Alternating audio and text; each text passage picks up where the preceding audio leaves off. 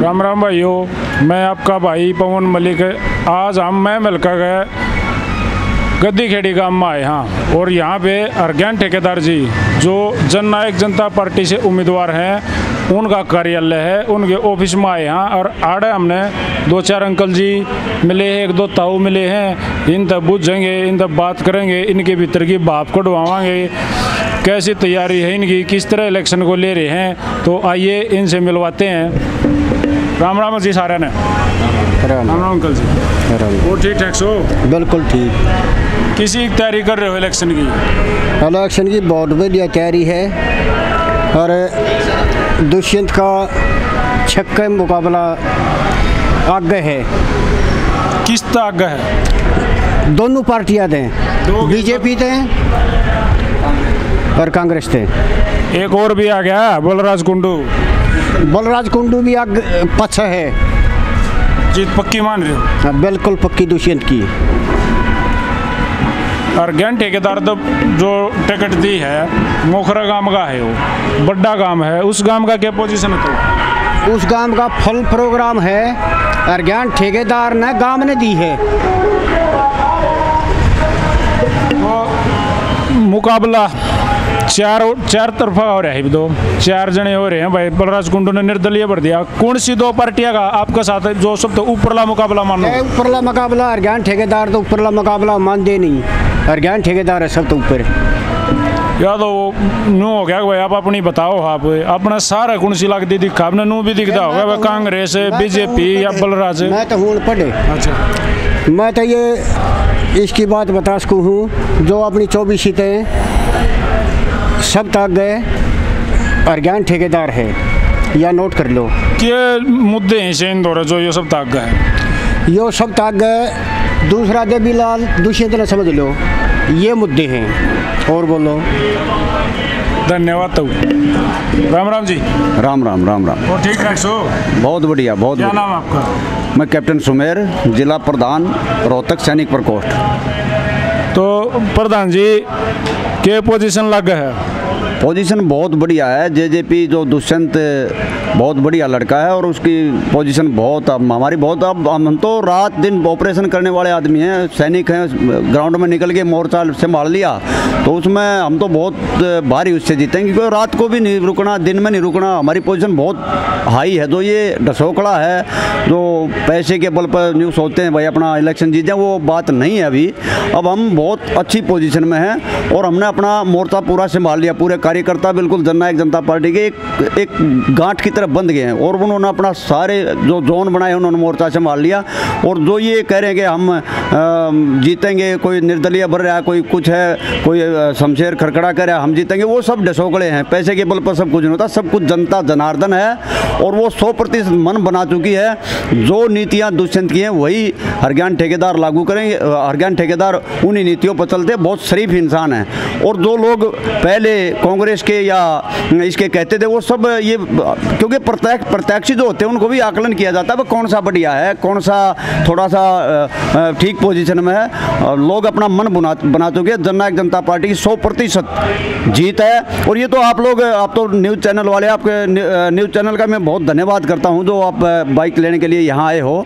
तो आपने भी पता चल गया, पूरे हरियाणा में इतनी बड़ी लहर है। अब तो सब कहने लगे, भाई, ये दुष्यंत तो मतलब हालत ख़राब कर दी इसने, क्योंकि इसने चक्रियू ऐसा बना दिया, उसमें बीजेपी, कांग्रेस सब सकते में है तो हमारे पीछे मतलब बराबर में कोई है ही नहीं टक्कर में। यार ज्ञान ठेकेदार का अपना नाम लिया। हाँ जी। बढ़िया लग गया अपने इनमें भाई ऐसा के? देखो सबसे बड़ी बात होती है आदमी का जो बर्ताव होता है, जो व्यवहार होता है, जो बिहेवियर है, इसका इतना अच्छा है। एक तो लोगों के बड़ा सुख दुख में पिछले उससे ये इतना बड़ा कारोबार छोड़ के लोगों की सेवा करने के लिए आया है तो इसमें कुछ ना कुछ तो है ही है। और फिर ऊपर से दुष्यंत हैं तो ये बहुत बढ़िया हर गाँव में इसका बर्ताव है। आज तक ये तो कांग्रेस वाले या निर्दलीय या जो भी भाजपा वे भी मानते हैं, भाई ये विरोधी हैं, जो जो विरोधी हैं, वे भी कहते हैं, भाई ये आदमी इसकी छवि बहुत गदब की, एक नंबर की छवि है इसकी। तो लोग अपने आप जुड़ते आ रहे हैं। अब, अभी हम तकरीबन छः सात बजे कई गाँव में घूम का हैं। खरेटी है, गिर- गिरावड़ है, अजायब, वहाँ घूम का आए। तो लोग अपने आप गलियों में निकल निकल के कह रहे हैं कि हम तो आपकी इंतज़ार कर रहे थे, आप आओ एक बार मैदान में। हम उनसे जो जो जो पीठाधारी थे, दो आदमी जो कई सालों से बैठे थे, उनसे तंग आ चुके हैं, और ये एक स्वाभाविक बात है।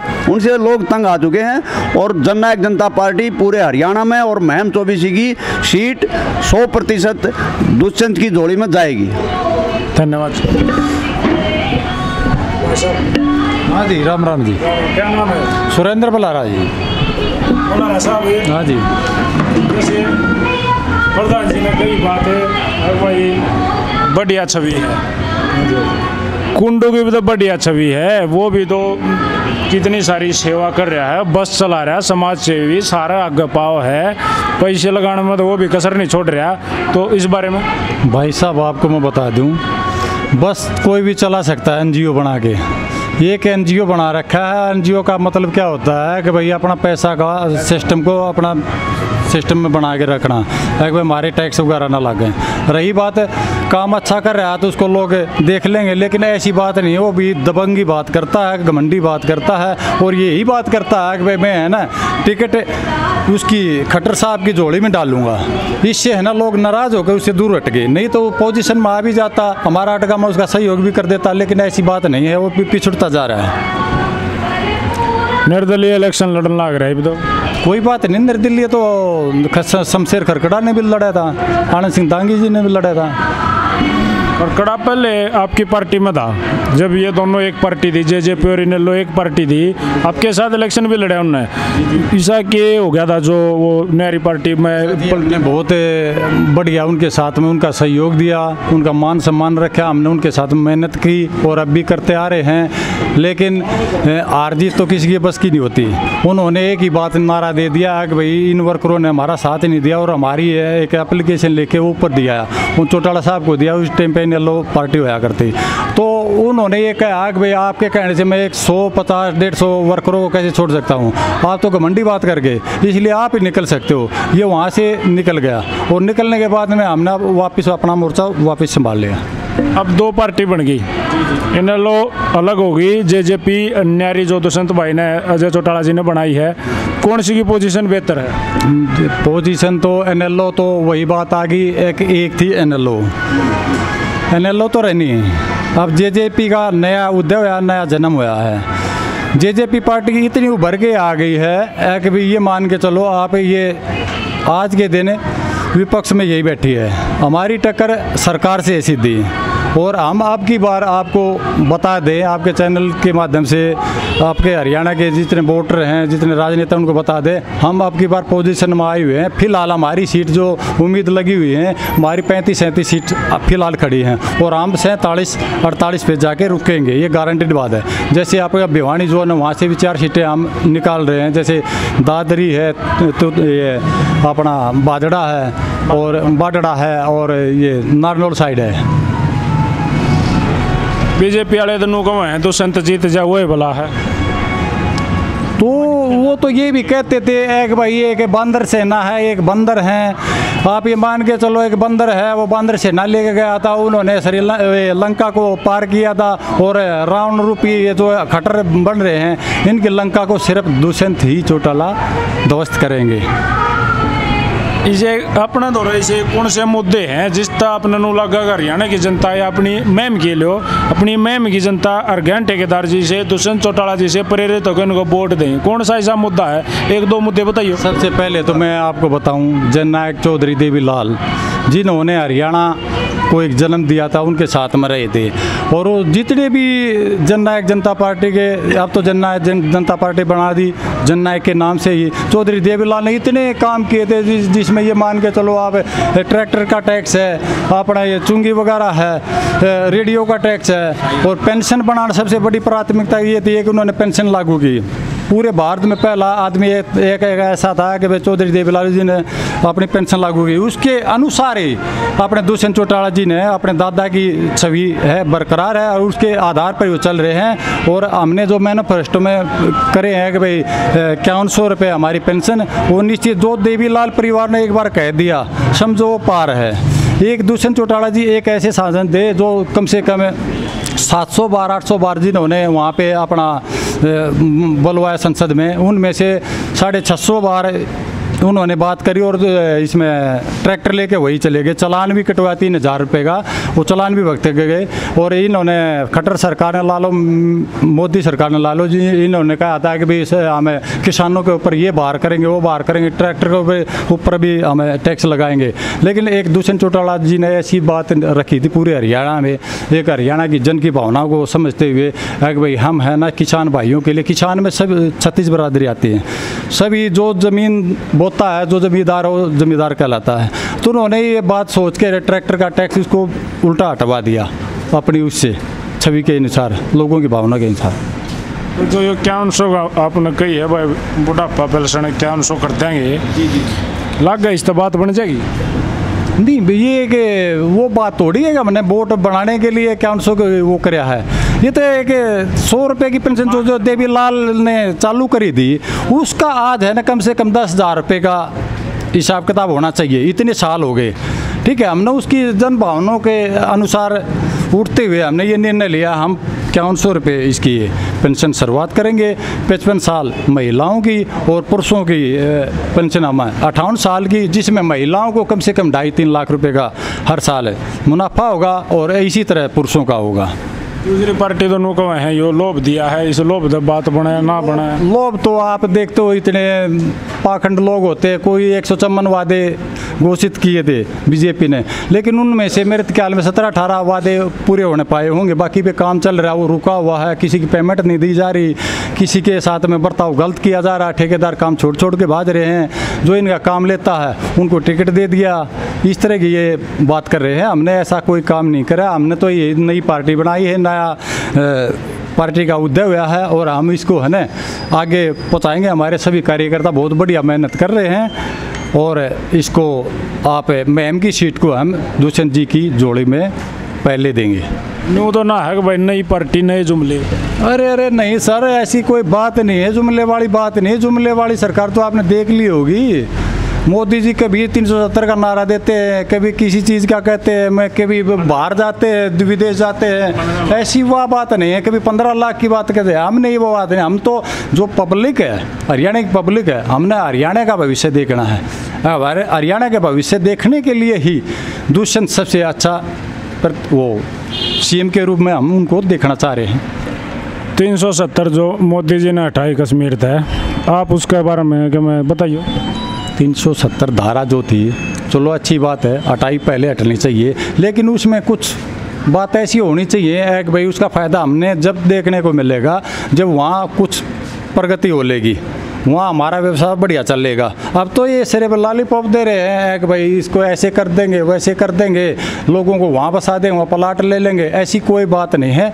हम इसको जब सफल मानेंगे, जब वहाँ का विकास होगा और वहाँ पे सारा जनजीवन ठीक हो जाएगी। पक्ष में हो विपक्ष में हो। नहीं मैं तो सीधी देखो देखो देखो यह एक तो सीधी बात पूछी। मेरी एक सीधा सवाल है आप 370 धारा के पक्ष में हो या विपक्ष में हो? धारा 370 है वो हटाई है उसके पक्ष में है। ठीक है लेकिन उसका परिणाम अच्छा रहेगा तो हम ये मान के चलेंगे मोदी ने ठीक किया है। अभी तक इसका कोई परिणाम नहीं आया है। ये इलेक्शनों के लिए ही इन्होंने जुमले रखे हैं। धन्यवाद तो तीन सौ इकहत्तर हटा के दिखाओ ना। देखो देखो तीन सौ सत्तर वो अच्छी बात है लेकिन हम तो ये कहते तीन सौ इकहत्तर को भी हटा दो। हिम्मत तो जब पता चले ना तीन सौ इकहत्तर में नागालैंड सिक्किम मिजोरम सब कुछ आता है वहाँ हटा के देखो फिर माने इसको। अब आप लोग सारे कहोगे आवाज़ उठाओगे मोदी जी यह बात पूछेगी तो मोदी जी के बेरा इस बारे में सोच ले। नहीं वो सोच सकते ही नहीं क्योंकि तीन सौ इकहत्तर हटाने का मतलब है तो ये नारा देते ना कांग्रेस मुक्त फलाना मुक्त इनका हालत खराब हो जाएगी। वो कर ही नहीं सकते। क्योंकि वहाँ वहाँ मुश्किल पैदा हो जाएगी। तीन सौ सत्तर भी फिर ना वापस कर ऐसी परिस्थिति पैदा हो जाएगी इनके लिए बहुत भारी। ठीक है तीन सौ सत्तर का तो सबसे पहले हमारे सांसद ने एमपी साहब ने सबसे पहले ट्वीट किया था तीन सौ सत्तर हटाया गया जब स्वागत किया था उन्होंने।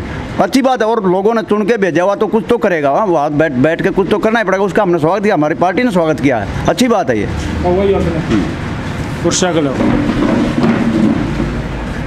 राम राम ताऊ। ठीक ठाक सो? के नाम ताऊ ओम से भाई वो कौन सा काम है? डोब गाँव डोब गाँव भी अपना इसमें आओ चौबीस में हाँ चौबीस तो एक बात बताओ जो ये कह रहे हैं अभी भाई साहब ने भी कही इक्यावन सौ रुपये पेंशन कर देंगे बिजली के बिल कर देंगे और किसाना कर्जा माफ़ कर देंगे? लग तो मतलब जो लग गए है व्यवहार तो ऐसा लग गया जन ये चुनावी जुमले हो बस भाई लोगों ने बोलो दें बात बन जावे आगे फिर देख लें। तुम तो तन्न के लग है। देखो जी हमने इस बारे में मैं कुछ नहीं कह सकता। ये तो आपके आपसे पूछना मेरा तो पूछने का काम है। तुम भी तो का थोड़ा बहुत ही न जान है ना? देखो वह बात फिर कहो। मेरा काम सिर्फ़ पूछना है। मेरा एक सवाल करे हमने। यो यो थोड़ा आपने चुभता सवाल है। इसका इसका आपका आपका काम है जवाब देना। सही बताऊँगा। चौधरी देवीलाल ने सौ रुपये करे। सहज सहज बढ़ते बढ़ते ये दो हज़ार तय लिया बीजेपी वाले। या तो भाई का हैं बढ़न की चीज़ है। तो इसने क्या उनसे बढ़ा दिया था कि जुल्म कर दिया? ये क्या करें? वो काम ना करया करें। रही बात या मोदी भी जुमले करा था? पंद्रह लाख आगे किसी के? नो थोड़ी है मोदी ने जुमले करे उसने पूरी ना करी तो दूसरी पार्टी भी जुमले करेंगे। नहीं नहीं नहीं मारी तो करती नहीं कभी। मारा तो जो कहते हैं वो करते हैं। ये इनका एक रिकॉर्ड है। दुष्यंत चौधरी देवीलाल का पुत्र है। चौधरी ओम प्रकाश चौटाला का है। और ये बिल्कुल जो मुँह तक है देंगे ना वहाँ न्यू सोच ले पत्थर की लकीर है। केला का अपना बात बनेगी? बात बनेगी सौ की सौ। और रही फिर इसकी हरज्ञान की। हरज्ञान तो भाई सीधा पद आदमी है ईमानदार है मिलनसार है और बहुत बढ़िया तरीके से मतलब मानसन मिला है। कोई हेरा फेर नहीं कोई किसी प्रकार के कारण में किस्से डाली कमी नहीं बिल्कुल वो कारण है एक नंबर पाओगा और बाकी कोई पीछे बल रहा है कोई बात झूठ बोल कर रहा है कोई बात अपना औकात है किम में मारा है कुछ तो औकात नहीं तुम देख लिए ये सारी पार्टियाँ अपनी। शमशेर भी है बलराज भी है भाई दांगी भी है। कहने का मतलब ये है कि इनके दौरे हैं सिर्फ़ एक झूठा सौदा। और ये जो मुँह तकेंगे ना वो पक्के हैं। जैसे दांगी सत्तर से हूँ मैं सन सतहत्तर से हूँ इस पार्टी में। हमने कदे ये झूठ बोलते नहीं देखे। दो बात कराने एक हाँ एक ना। जैसे आपने बात करी शमशेर की, या कुंडू की, इनको छोड़ो। ये तो दोबारा से इलेक्शन लड़ रहा है। जैसे भाई शमशेर भी दोबारा से कुंडू नया आया है, पहले जिला परिषद का चेयरमैन था, दांगी साहब। आप दांगी साहब पे आओ। तीन बार तो लगातार विधायक बना है। तो इतनी बात, इसी बात तो नहीं होगी कि उसकी पकड़ ढीली होगी। कुछ कुछ है। जो पहले थी वो अब नहीं है। मतलब उनको हराना। मान लो, यो है, उनका, यो है, इसको यहाँ उसको हराना, इतना आसान होगा। इतना आसान राहु लाल क्या?